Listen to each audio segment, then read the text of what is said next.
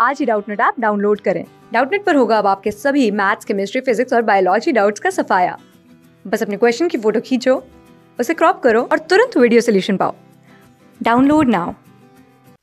Hello दोस्तों, हमें प्रश्न में दिया गया है कि तीन सेंटीमीटर त्रिज्या के एक ठोस गोले को पिघलाकर ज़ीरो दशमलव छः सेंटीमीटर व्यास की छोटी गोलाकार गेंद बनाई जाती है। इस प्रकार बनी गेंदों की संख्या ज्ञात कीजिए। तो देखिए, मैं आपको समझाता हूँ प्रश्न क्या बोल रहा है कि जैसे कि अपने पास एक बड़ी सी गेंद है है? ना ठोस गोले वाली गेंद है। इसकी त्रिज्या दी गई है हमें, है ना? इसकी जो त्रिज्या दी गई है, वो है तीन सेंटीमीटर। इससे फिर हो क्या रहा है? इससे हम, इसे पिघलाकर छोटी छोटी गेंदें बनाएँगे। है ना? छोटी छोटी गेंदे गेंदे बनाएँगे, है ना? ऐसी छोटी छोटी जिनकी, जिनका हमें क्या दिया गया है? जिनका हमें व्यास दिया गया है। ठीक है? जिसका व्यास दिया गया हमें ज़ीरो दशमलव छ सेंटीमीटर। तो कितनी गेंदें बन रही हैं और ऐसी? हमें बताना है कि ऐसी कितनी गेंदें बन रही हैं। समझ लेते हैं कि ऐसी एन गेंदे बन रही हैं। ठीक है? ऐसी ऐसी कितनी? एन गुनी। एन गेंदे बन रही तो हमें ये एन संख्या बतानी कितनी गेंदे बनेंगी। ठीक है?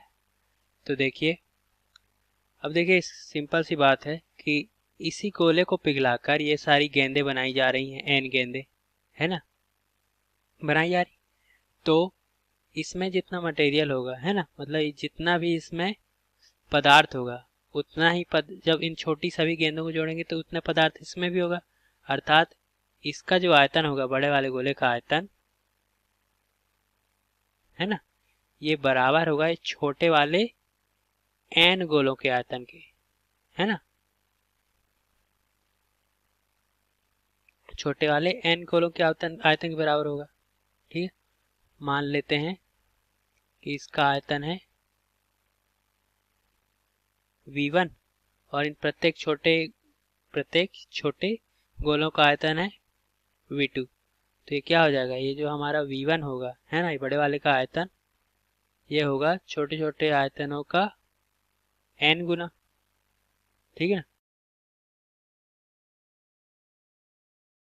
ठीक है, इस प्रकार होगा। आप कितना समझ आए अब हम निकाल लेते हैं इनका आयतन। तो पहले यहाँ देख लेते हैं, हमें पहले वाले पहले वाले मतलब गोले की त्रिज्या दी गई है, लेकिन दूसरे वाले गोले की त्रिज्या नहीं दी गई है, इसका व्यास दिया गया तो हम पहले तो छोटे वाले की व्यास एक त्रिज्या निकाल लेते हैं। पहले वाले की त्रिज्या हम मान लेते हैं, चलिए। इस पहले गोले की त्रिज्या मान लेते हैं, आर बराबर तीन सेंटीमीटर।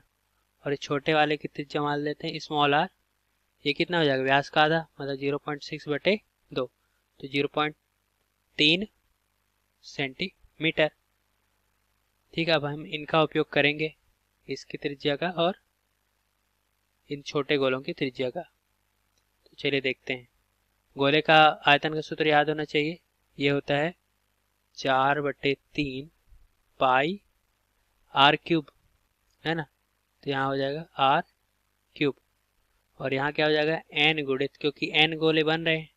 तो एन गुड़ित चार बटे तीन पाई आर क्यूब तो यहाँ से देखिए चार बटे तीन कट गया, पाई भी कट गया तो बचा क्या यहाँ पे?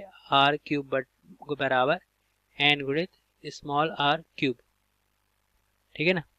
तो हमें क्योंकि एन याद करना है तो हम यहाँ एन के पदों में ही लिख लेते हैं। एन बराबर हो जाएगा आर क्यूब बटे स्मॉल आर क्यूब या फिर बोल सकते हैं एन बराबर आर बटे स्मॉल आर पूरे का क्यूब अब हम इसे मान रख देते हैं। ठीक है तो मान रखेंगे तो क्या हो जाएगा? कैपिटल आर का मान देखिए क्या था? तीन सेंटीमीटर और इसका ज़ीरो दशमलव तीन सेंटीमीटर तो ये था तीन सेंटीमीटर और ये था ज़ीरो दशमलव तीन सेंटीमीटर और ये घात तीन है। तो एन क्या हो जाएगा? तीन। और ये ज़ीरो दशमलव तीन है, इसको हम क्या लिख सकते हैं? ज़ीरो दशमलव तीन को हम तीन बटे दस लिख सकते हैं। लिख सकते हैं ना ज़ीरो दशमलव तीन को? तो यहाँ से देखिए, तीन तीन कट गया बचा क्या? एक से, एक बटे एक बटे दस घात तीन। तो ये दस क्या? ऊपर चला जाएगा तो एन बराबर हो जाएगा दस की घात तीन, है ना? दस ऊपर चला जाएगा। तो एन आ गया हमारा हज़ार। तो यही हमारा उत्तर है। तो छोटे छोटे कितने गोले बनेंगे? छोटे छोटे ऐसे हज़ार गोले बनेंगे। ठीक है? तो हज़ार छोटे छोटे गोले बनेंगे, जो कि जिनका आयतनों का योग क्या होगा? इस बड़े वाले के आयतन के बराबर होगा। उम्मीद करते हैं आपको अच्छे समझ आया होगा दोस्तों। धन्यवाद। क्लास सिक्स से ट्वेल्थ से लेके NEET I I T JEE mains और एडवांस के लेवल तक, दस मिलियन से ज़्यादा स्टूडेंट्स का भरोसा। आज ही डाउनलोड करें डाउट नेट आप या व्हाट्सअप कीजिए अपने डाउट्स आठ चार सौ चार सौ चार सौ पर।